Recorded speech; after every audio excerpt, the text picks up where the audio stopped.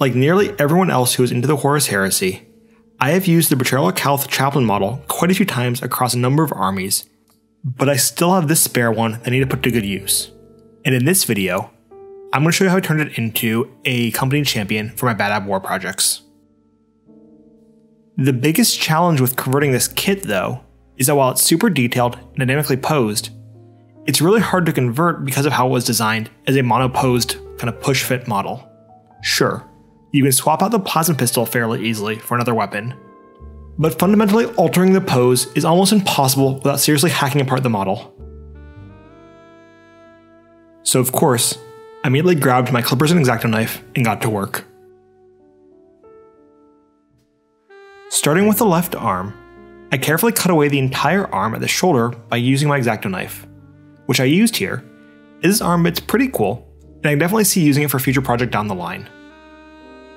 Next up, I attacked the entire shoulder pad and kept covering it with my hobby clippers, as if I left it on, it would have effectively locked me into a pose with the arm outstretched and firing, which would be ridiculous as I literally just lopped off the arm to change the pose up.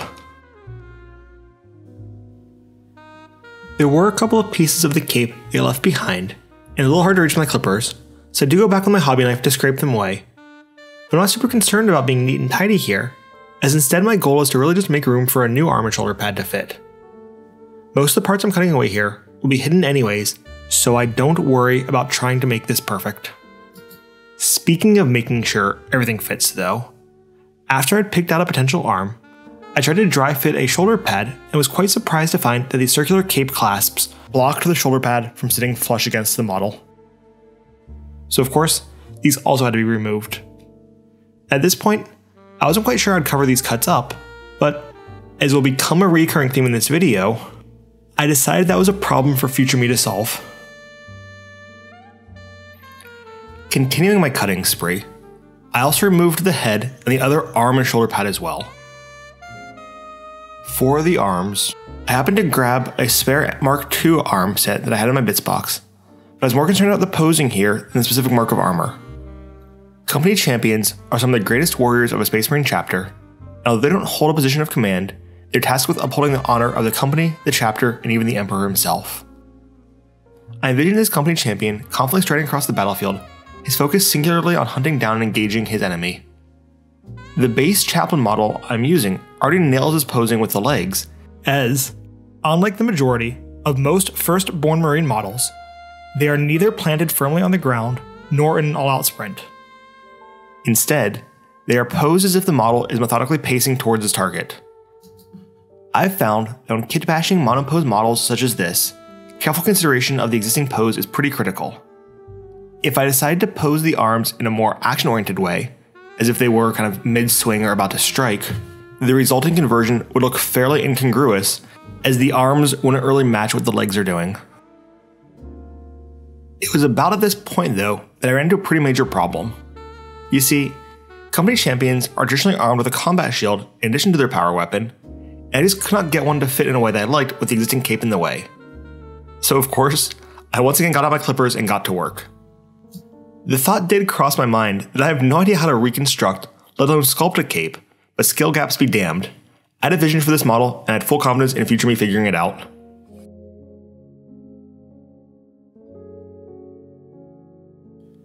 After the cape was sufficiently cut back, I attached another spare Mark II arm, as well as a combat shield that I found in my bits box. When I went to put the shoulder pad on, though, I ran into yet another issue with getting it to fit. Clearly, this model was not intended to be abused like this.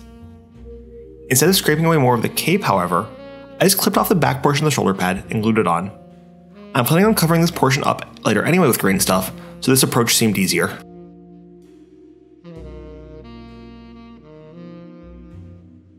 I still have a bit of work to do on the shield arm, but I figured that at this point, I'd start trying to tackle the first cape sculpting piece over the axe arm. The way I saw it, if I couldn't get this piece figured out, the entire idea of the conversion was dead in the water. To start with, I took a blob of green stuff, mixed with some epoxy sculpt, and roughly smushed it over where I wanted the fabric to be. This mixture was about 70% green stuff to 30% epoxy sculpt, and I've been using this combination a lot recently for sculpting, as I find it far easier to work with than pure green stuff.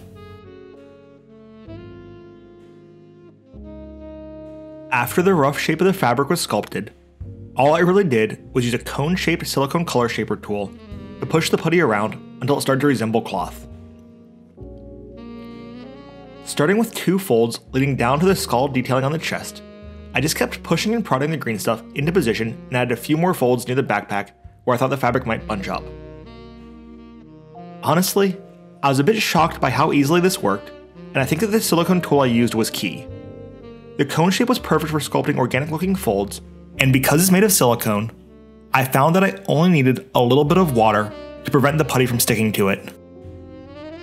While doing this, I was careful to make sure the edge of the cloak remained straight, and I needed to push it back into position a few times as sculpting the folds pushed it out every now and then. When sculpting these folds, I found that it was key to make sure the folds were fairly straight, as originally I had a couple kinks in my folds and they just looked off kind of not like I would think cloth would naturally bunch up. But I was able to sort this out by using longer, um, strokes, I guess, with my sculpting tool. As a quick aside, I have no idea which verb to use when describing my actions when sculpting. Like, with painting, I can say I use longer or shorter brush strokes, but I don't know if that works for sculpting.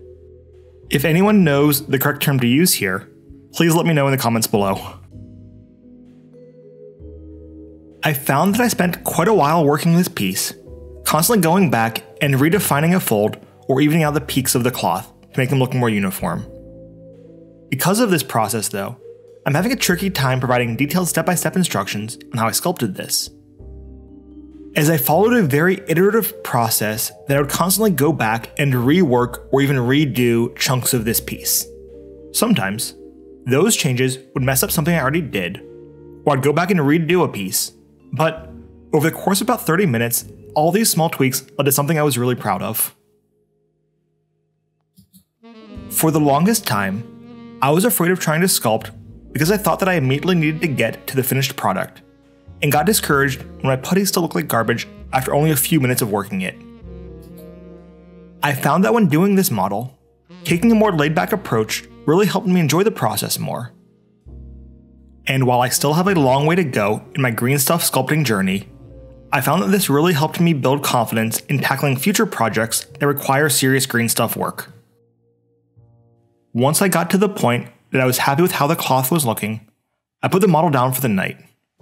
I have messed up so many sculpting sessions because I got impatient and accidentally put a thumb in a still uncured putty. So, now once I get to a point that I'm happy with a small detail being finished, I set the model down and wait for everything to cure. To finish off the cape over the left shoulder pad, I found this pretty cool tilting shield in my bits box from the old Forge World Resin Cataphractii kit that was a perfect size to replace the cape clasp I cut off before. This is a rather old bit, and I'm not sure how easy it will be to find if you're trying to do something similar, but later on I'll show you how I built the other clasp using nothing more than some green stuff and a rivet. The next day, I started off by smashing some putty onto the shield arm where I'd previously cut off a piece of the shoulder pad. As I was only doing this to add some bulk to make future sculpting easier, I didn't worry too much about refining, only that it was the correct general shape of the shoulder pad. My thought here was that it'd be far easier to make the cloth appear draped over the shoulder armor if it was actually there, as opposed to the void I had before. In order to ensure the cape will flow correctly around the combat shield, I wanted to build the right arm completely before moving on to any more sculpting. This was fairly straightforward, and the only real challenge here was finding a suitable hand that was not carrying a pistol or weapon. I ended up using a spare power sword arm and just cutting off the sword and hand to attach to the Mark II arm I'd already selected. After that, all I did was use a small sausage of green stuff to create a handle that the hand could use to hold the shield, and I was ready to get back to sculpting the cape. Green stuff and other similar putties are pretty terrible at holding flat, thin shapes with no support. Because they are pretty malleable, I have found that they need some form of backing, or any attempt to shape them will just result in frustration. I wasn't quite sure what I wanted to use for this model, as I did have this large chunk of area that I need to resculpt the cape. Luckily, I had actually saved a bit of the original plastic cape I cut away before, and with a little more trimming, I was able to get this to roughly fit where I wanted to sculpt the rest of the cape. When trimming this plastic bit, I made sure to also cut out around the shield, and this is because I felt that the cloth would conform to the shield and flow around it, as opposed to sitting next to it. It might be a minor detail, but in the real world, the cloth would not act like rigid plastic, well, obviously, and would instead conform to objects that it's touching. If I didn't cut this piece and resculpt it later, it'd be pretty obvious that I was using two pieces that were not meant to go together. But by paying attention to this small detail, I hope that the finished product looks more like an official model and less like a kitbash. As mentioned previously, it's really hard to sculpt green stuff if there's nothing backing up what you're sculpting over. This would have been an issue with this large gap that was left between the two pieces of the plastic cape, so I first jammed some spare green stuff in there and let it cure. Once again, I'm not super concerned about making this look good, as I'll be sculpting over it later, but I do want to ensure that it's relatively flat so it doesn't get in the way of the next layer. Once the filler was cured, I tackled the rest of the cape in the same way that I did the other shoulder pad, with the only real difference being that I made this portion a little wider and covered up more of the shoulder pad. This was because I wanted the sculpted cape to blend nicely with the plastic cape I had just glued on, so I made sure the outermost edges lined up. There were also a couple of folds in the plastic piece, but I was able to easily blend these into the sculpted folds I was working on. Once again, I think that small details such as this really help to elevate the final model and make it look more cohesive. Around the combat shield, I also applied a couple layers of putty to make the cape look like it was conforming to the shield. I did run into some trouble here though, as the first layer was too flimsy to sculpt how I wanted to. So instead I used the first layer to get the basic shape blocked in, and provide support for the second, which was much more refined. Other than those small differences though, I followed the exact same process as I did before, and once again I was surprised with what I was able to do. While it might not be perfect, I was very pleased with how this conversion was turning out.